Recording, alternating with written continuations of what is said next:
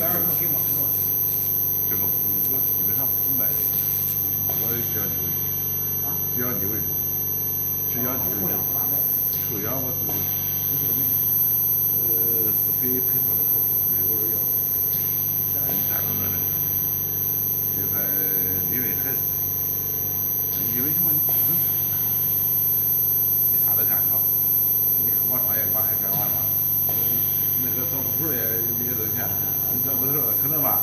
你像时装，那几个小布一得五块钱，还卖三千五千，你上万了，干这么起。你懂吧？